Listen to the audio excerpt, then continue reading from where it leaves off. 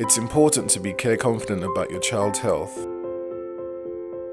Olivia is five years old. When her dad, Paul, is getting her dressed for school one morning, he notices a rash on her arm. Paul gets extremely anxious about what could be causing this rash. After checking the meningitis page within the Care Confident Guide and ruling out anything serious, he goes to the pharmacist for further advice. Olivia receives treatment for the rash. Her skin is back to normal in a few days.